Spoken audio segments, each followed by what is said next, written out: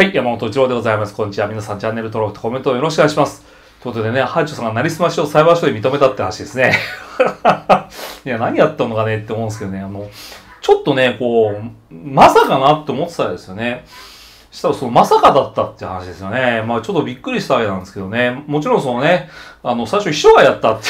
秘書って誰だよみたいな。まあ、秘書がやったって話だってですね。で、秘書がやったので、その、私は知りませんっていう最初言ってたらしいですよね。で、後になって、その、その秘書とやらを、その、承認尋問しませんかみたいな話になってですね。まあ、その後でこう、私が書いたと思っていただいて結構みたいな話になって、もう認めとるやんけみたいな話ですよね。暇なのかなと思うんですよね。で、あの、まあ、要はそのね、こう、なりすまししやがってみたいなことを書かれてですね、それに対するその、まあ、裁判に対してこう、あの、証拠を出された、その、あの、しめやかに取り下げた後で、いや、それはお前さすがになないだろうって言って、まあ、裁判起こされるって、そういう経緯ですよね。これもう刑事でやった方がいいんじゃないかなっていう気がするんですよね。まあ、なりすましの立派な犯罪ですみたいな話だって、まあ、時効になる前にね、なんとかやってほしいなっていう気持ちはなくはないですけどね。で、まあ、要は白黒つけようと思ったらそういう話になっちゃうし、逆に言うとその、まあ、彼女自身もですね、よっぽど腹に据えかねたっていうかね、まあその今回そのまあね、あの、週刊女性上ではその A 氏となってますね。A さんの話ですよね。だから A さんに対してこうよっぽどムカついたのかなと。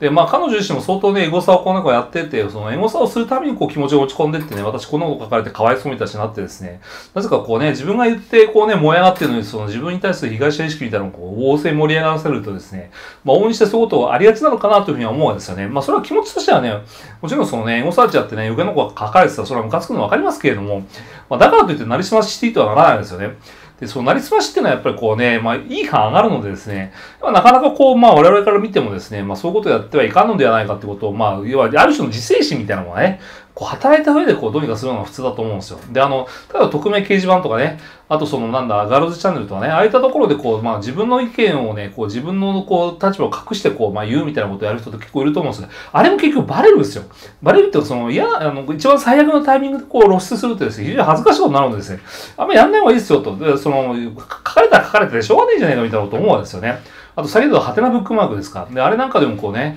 えー、まあ自分のこうなんか書いたものをその自分でそのね、自画自賛して、そのユーザー数が3になればその上の方に上がるのにうんぬんとかそういうことを言ってる人が昔いてですね。それってその、要は自分でね、こう、なんか名前出さらしてこうやるならいいけれども、まあ、かかるのしょうがないじゃないですか。で、そのかかるのしょうがないことに対して、なんかこう、ワイワイコレやるっていうのは、まあちょっとなかなかね、恥ずかしいことなのかなと思うんですよね。で、それにさらに上乗りする形でなりすましですから、まあ、今回の件で言うとやっぱりこうね、えー、金が取られたとかそういうレベルの以前にですね、非常に恥ずかしいということは、まあ、まあ非常にこうね、まあ、強く感じるところかなと思いますよね。だから社会的地位の低下って何だと思ってるんだっていうのは、まあ個人的に思うんですよね。で、あの、まあちょっとこうね、こう、山口サンソンとか、あの、山口サンソンさんとか、まあこう、あの、YouTube 上でね、えー、時折こう、この手の裁判においてはですね、その、もうこの人にはその下がるべき社会的地位がないんじゃないかとかね、社会的評価はもうすでに地位に落ちてるので、これ以上下がらないんじゃないかみたいなことをおっしゃるわけじゃないですか。で、もうそこはね、そのせめてもの人間の尊厳ってあるわけですよね。で、それはその、まあ、こういう人でも生きていていいんだみたいなのがあってみたいとか、逆にね、この人は、まあ、いろんな辺、めちゃくちゃなことあるけども、こ、ここにいいところがあるので、そこを見て、こうね、えー、ちゃんと褒めてあげましょうみたいなことって、やっぱ世の中の、その、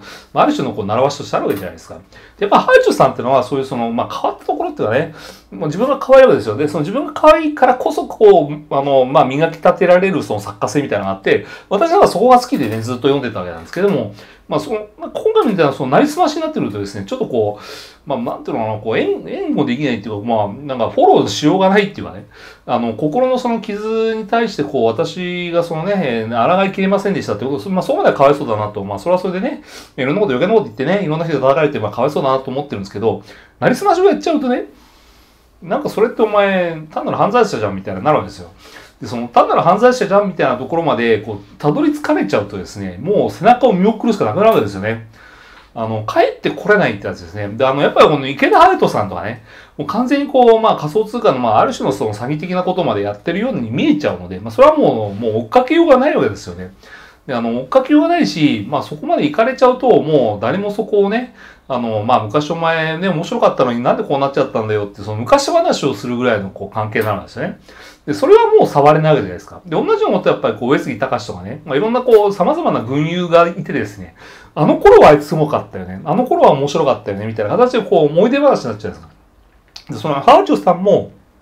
なりすましっていう、こう、ちょっと一線を越えてはならないところの向こう側に行ってしまったためにですね、もう現役でこう、彼女をウォッチしててもしょうがないんじゃないかみたいな、そういう話になるんですね。なんか自殺でもすんじゃないかみたいなね。でそういう男で、こう、気持ちをこう、まあ、たぎらせてしまってる彼女をやっぱ見るに見かねてね、いろんな人たちをフォローするぞみたいな、そういう感じにすらならなくなるとですね、これはもう厳しいのかなと思うんですよね。で、やっぱりこう、僕なんかは、その彼女が昔書いてたね、その林真理子さんが目指してます私は作家でやっていきますみたいなことを言って、最近その作家っていうそのね、型抜けが記事するわけですよ。あ、言わなくなったんだな、みたいなね。もう作家としてやっていくんですよ。そのインフルエンサーとしてね、やっていくことをその彼女のセルフブランディングの中ではその一番最優先になったんだなってなるとですね、ちょっと責任感を感じるんですね。もう彼女はね、昔みたいなこう、キラッキラした人たち相手にね、物を書くことはないのだというふうに思うとですね、うん、なんかもったいないなっていう気がしたんですよね。で、もったいないだと同時に、やっぱ彼女はやっぱその、なんていうのかな、こう、やっぱ、なん表で見せてる顔と実際持ってることはやっぱ違うわけですよ。で、その違うからこそそのギャップが面白いわけですね。その要はその、まあ、キラキラした彼女とは違う、こう、クソドロドロした伊藤遥みたいなのがいてですね、でキラキラしてるハーチューとそのドロドロして伊藤遥の間で起きている総国みたいなものがですね、こう、文章とかね、こう書いてることのひだとしてこういう、こうビンビン伝わってくるわけじゃないですか。で、それはその、あの、インスタライブとか見てるとですね、まあ、まあ、大体余計なことしか言わないですけど、でその余計なことを言ってる中に彼女の本音みたいなものがですね、こう、ガソッと入るとですね、うん、なるほどね、と。やっぱ彼女はそういうことを気にしていたんだな、みたいなことになってですね、非常に楽しいわけですよね。その楽しい気持ちをですね、しかしその彼女のインスタライブってのはですね、まあ、ちょっと申し訳ないですけど、拡散力があんまりないので、あの、誰もこの良さをね、分かってくれなくなっていくわけですよ。だんだんこう、人書きが離れていって、その大事な大事な俺たちのハーチューをですね、見ている人が減っていくとですね、そのハーチュー本来持っていた輝きなんかも、その一緒にこう、こう消滅していってしまうような、そういうこう、溶けていってしまうみたいな、そんな感じですよね。もったいないなというふうに思うんですよね。なので、やっぱこっから先のね、え、特にこうね、あの、この前なんかね、インスタで書かれてた、その、まあ自分の息子さんですね、こそがその相棒だみたいなのが書いてあるんですね。何言ってんだお前と思わず。で、あの、それは子育てしてればみんな大体ね、そういうふうな誤解をする時もあって、まあ、そういう時期にちょうど来たのかなっていう気もしなくもないんですけども、大体あの、まあ、母がね、子供にこう依存し始めるとですね、子供はうるせえと思うんですよね。で、それはやっぱ自我が出てくるタイミングでやっぱ大破綻を起こすっていうのは、まあ、私の経験でもやっぱあるのでですね、まあ、そうなった時に、こう、あの、私の相棒じゃなかったみたいな、ダブルで裏切れるわけですね。で、そういうタイミングで結構ね、こう、めんどくせえこと起きると嫌だなって思うんですよ。だからこう、だんだん触りづらくなっていくハーチューってのはね、こう、なんかね、あの、もったいないなというかね、こう、もう、なんか一線は超えるわ、その、なんか息子に対するね、この愛情がこう、傾倒していって、こう、なんかすげえことになってるわですね、ちょっと触りづれえな、みたいなところ出てくるんですよね。で、まあ、その後も、やっぱりいろんなこうね、裁判の話を聞かせていただいたりとかね、ももちろんそのね、いろんなウォッチャーの方々がその暗唱されてるのを見てるとですね、そのだんだんこう、昔のハーチューさんのね、面白かったところを知らない新しいハーチューさんの客みたいなのが来てですね、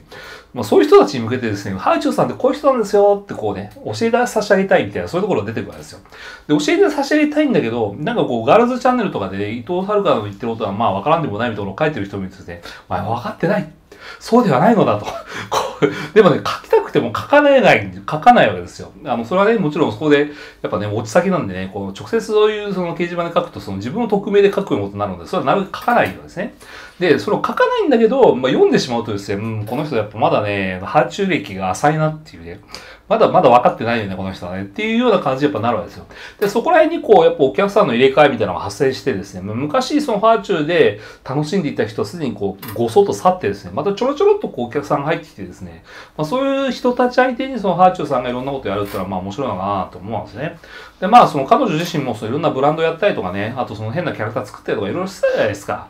で、要は全部黒歴史になってるわけですよ。で、大体失敗に終わるわけですよね。その失敗に終わるプロセスっていうのはまた楽しいんですけども、まあそういったところをまた一からですね、彼女はですね、もう掘り起こしていって、またこう、象牙の塔を立てたら崩れ、象牙の塔を立てたら崩れみたいな、そういうようなことをですね、やっていくと、こう、才能から的に面白いなと思うんですよね。まそういうウォッチの仕方なんかも含めて、やっぱりこうね、伊藤遥というコンテンツをまだまだ味わい尽くしていきたいなというふうに思いますしですね。あとその、まあ、昔こうね、楽しんでくれたお客さんがどういう形でまた帰ってきてくれるのかみたいなところも一つね、先の醍醐味としてあるのはですね、本当ね、伊藤遥さんのね、関係で、その、もちろん記事書くといっぱいね、見てくださる方いるんですけども、最近触りづらいのもあってですね、あんまり頻繁に書けなくなってきた。あとその、あのツイッター上でもですね、もしくはインスタ上でもですね、まあその周辺のお客さんがですね、どうも入れ替わってそうだっていうのをかん、まあ、感じるとですね、まあ、これ以上触るとやっぱなんか壊れちゃうんじゃないかな、みたいなことを感じながらですね、でもその触らずにやられないみたいな、そういうこうね、非常にこう、受け手のね、プロレス力を試されるっていうかね、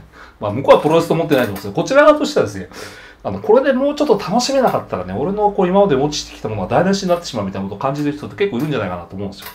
だからそれはやっぱりね、あの、見送らないようにしないがら、かといって近づきしすぎないようにしなきゃいけないっていう、こうね、こう、あの、まあ、いい塩梅みたいなものを皆さんこうね、見繕ってる最中なんではないかなというふうに思うんですね。やっぱ、なりすましはね、びっくりしましたね。まあ、やっぱ一歩ね、こう、まあ、なんていうのかな、こう、越えてはいけない壁をまた一枚越えてしまったっていう感じは、ぱり舐めないですかね。あの、まあ、終わらないように頑張っていただきたいと。まあ、まだまだ、まだまだそのカロリーが残ってるはずだということを信じてやっていきたいなというふうに思うんですけどね。はい。どうもありがとうございました。失礼します。